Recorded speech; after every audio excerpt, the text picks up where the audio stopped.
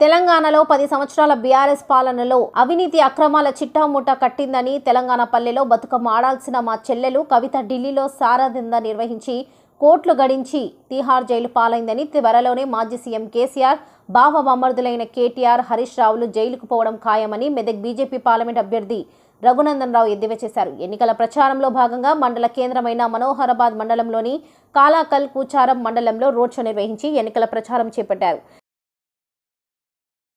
మా భూమి తీసి పెద్ద పెద్ద కంపెనీలకి ఇచ్చిర్రు. దాంట్లో కనీసం చెప్పరా చిక్కలు కూడా మాకు వస్తలేదని అనేక మంది గ్రామస్తులు ఆవేదన చెందుతున్నారు. ఇకపోతే ఇది స్థానిక సమస్యల విషయానికి వచ్చినప్పుడు ఈ రకమైనటువంటి ఇబ్బందులు ఎదుర్కొంటా ఉన్నారు.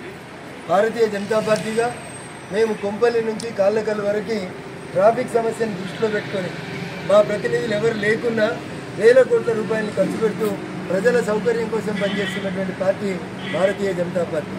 అంతేకాదు ఈ హైవే మీద అనేక బ్లాక్ స్పాట్స్ని ఐడెంటిఫై చేసి ఎక్కడైతే ప్రమాదాలు జరుగుతున్నాయో అక్కడ వీలైతే ఆర్ఓబీలు ఆర్యూబీలు లేదా ఫ్లైఓవర్లు కడుతూ ట్రాఫిక్ నియంత్రణ చేస్తూ ప్రజల సౌకర్యం కోసం మేము పనిచేస్తూ ఉంటే ఇచ్చిన హామీలను అమలు చేయడం చేతగాని కాంగ్రెస్ పార్టీ.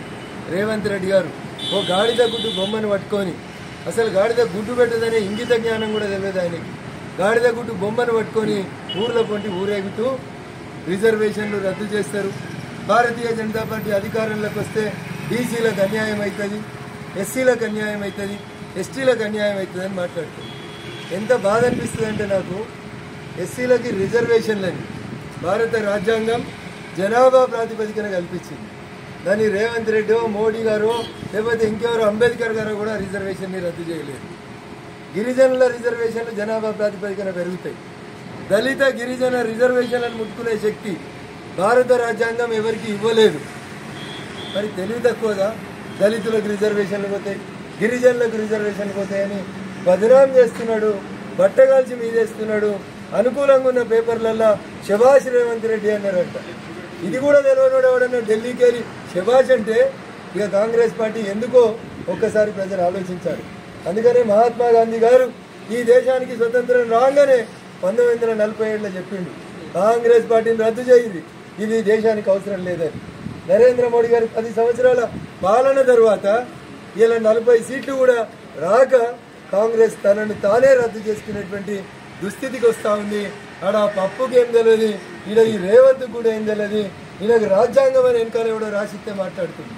బీసీల రిజర్వేషన్లకి వెళ్ళి రిజర్వేషన్లు ఇచ్చింది కాంగ్రెస్ కాదా అనేది రేవంత్ రెడ్డి గారు సమాధానం చెప్పాలి. బీసీల రిజర్వేషన్ శాతాన్ని తగ్గించింది కాంగ్రెస్ పార్టీ అవునా కాదా? ఒక్కసారి రేవంత్ రెడ్డి చెప్పాలి. తెలియకపోతే అయ్యా రేవంత్ రెడ్డి గారు నీకు తెలియకపోతే నీకు వెనకాల ఉత్తరాలు రాసిస్తారు కదా కాగితాలు. వాళ్ళని దోలుకొని నీకు యాడికి నచ్చితే కాడికి రా. నేను వస్తా.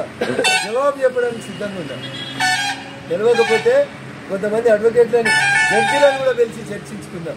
భారత రాజ్యాంగం ఇప్పటికి నూట ఇరవై ఆరు సార్లు సవరించబడితే దాంట్లో నూట ఆరు సార్లు ఆ రాజ్యాంగాన్ని దాదాపు సవరించింది. వాళ్ళ నాయన వాళ్ళ బిడ్డ వాళ్ళ కొడుకు తప్ప ఇంకొకటి కాదు. ఒకటే కుటుంబం. ఈ దేశంలో భారత రాజ్యాంగాన్ని చిన్నాభిన్నం చేసిరు నలభై రెండవ రాజ్యాంగ సవరణ ద్వారా సెక్యులర్ అనే పదాన్ని తెచ్చిరు ఇందిరమ్మ రాజ్యం పేరిట ఎమర్జెన్సీ తెచ్చిరు ఆఖరికి మీడియా ఆఫీసులలో కూడా పోలీసు వాళ్ళని పెట్టి ఏం రాయాలి ఏమి రాయొద్దని బెదిరించిన నీచ సంస్కృతి కాంగ్రెస్ పార్టీ.